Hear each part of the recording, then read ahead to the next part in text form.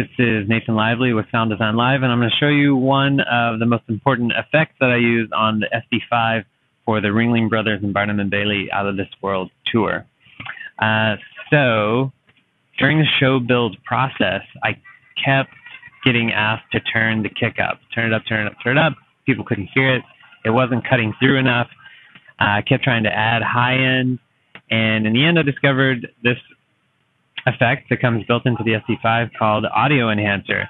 And it's been really helpful because I was able to put it on the kick and the snare and mainly just use it to crank up the high end to a surreal place that probably no microphone would ever take it to and really help those two elements cut through in the mix so I don't just have to turn them up way too loud. Um, I can really just bring up that high end so that it's at a happy place in the mix and that turned out to be the most helpful effects processor that I found on the SD5.